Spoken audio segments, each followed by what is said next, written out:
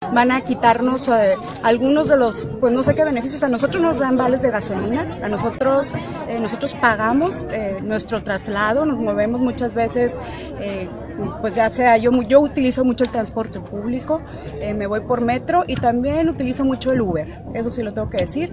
Eh, ahí están los gastos de nosotros, a nosotros nos dan vales de gasolina, Carla. Ujú, Pero les, sí les pagan el traslado en avión, ¿no? Y eso Claro, subió. claro, nos tienen que pagar a fuerza. De hecho, subió. sale, en mi caso, sale, salgo yo teniendo que poner de mi, de mi bolsa porque no nos alcanza.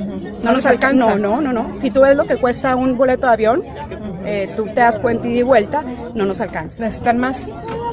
Pues, mm, pues tratar de organizarnos, ¿verdad? En mi caso, en mi caso yo tengo mucho apoyo, siempre lo he tenido de mi esposo, yo nunca he vivido la política, he vivido siempre de, de mi, de mi esposo y me ayuda mucho. Entonces en mi caso yo no necesito más.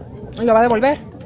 ¿Qué, qué, qué voy a regresar? Eh, el dinero del presupuesto. No te estoy no diciendo, te estoy diciendo que no me alcanza, o sea, no me alcanza. Me ponen dinero. Salgo yo teniendo que poner de mi, de mi bolsa porque no nos alcanza. O sea, no me alcanza. O sea, no me alcanza. O sea, no me alcanza. O sea, no me alcanza. O sea, no me alcanza. O sea, no me alcanza. O sea, no me alcanza.